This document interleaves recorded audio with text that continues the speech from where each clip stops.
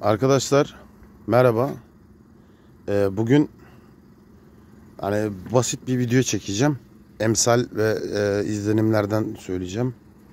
99 Suzuki 4 zamanlı karbüratörlü model. Şimdi motorumuz bize geldi. Sahibinden de rızasını almadım ama yani e, problem de olmayacağını sanıyorum. Şöyle baktığımda arkadaşlar makinenin bakın bütün boyası dökülmüş. Alüminyumda da gözler var. Şöyle bakın. Gözler var alüminyumda. Elektrik yemiş. Çok sağlam elektrik yemiş hem de. Buna dikkat edin arkadaşlar. Tutyalarınızı çok sık değiştirin. Tutya bölgelerine, üstüne ya da altına boya gelmemesine dikkat edin. Buna bir boya yapılmış. Çok başarılı olmamış boya. Yani şey. Bir de hemen kuyruk yağı kuyruk yağı diyoruz ya. Bakın duyabilecek misiniz? Bir dişli sesi var. Ben bunun yağının olmadığına yanlı olmadığını tahmin ediyorum. Yani öyle bir şüphem var. Şimdi sökeceğim.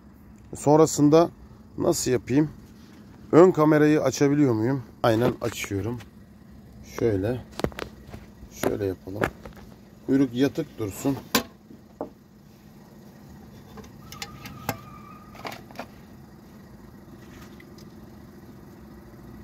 Kuyruğu sökeceğim şimdi. Aynen. Kuyruk civatası zaten çok boş. Yani normalde ciddi zorlayan bir şeydir bizi. Bu kuyruğun sökülürken çok zorlar bizi. Ama bunda pek zorlamadı.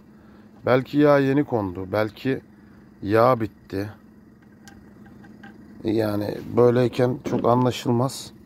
Ama benim bir şüphem var yani. Hani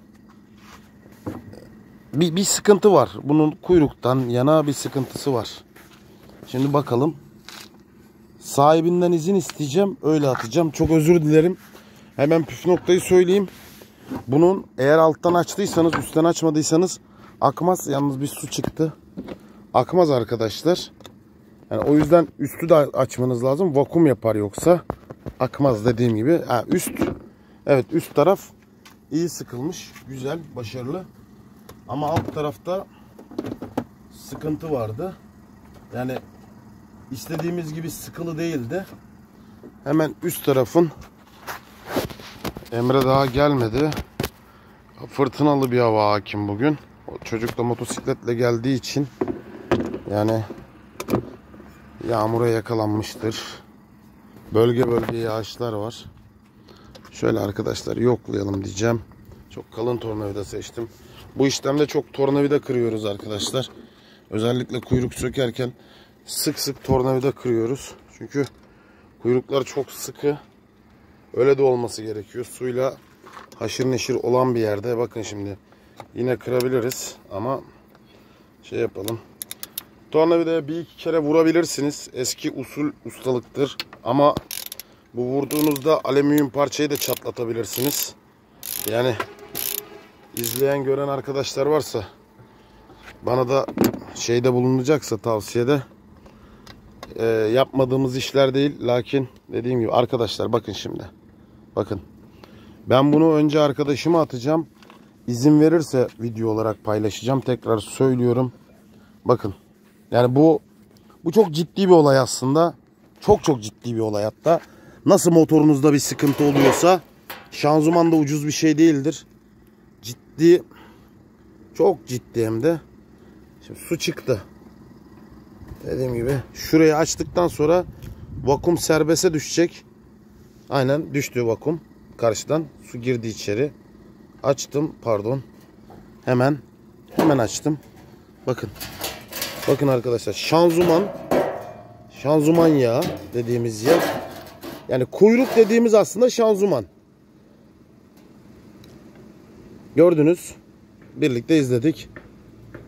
Bunu izin verirse sahibi atarım. İzin vermezse atmam. Hatta elektrik problemini de göstereyim. Housing'in alt tabanını yemiş. Yani sıkıntılı bir şey bu. Sıkıntılı bir durum. Büyük ihtimal şöyle oldu olayda. Buradaki conta da aşındı. Buradan da su aldı içeri. Yani ben bunu versem teslim etsem bu yine su alacak. Arkadaşlar işin özü şu.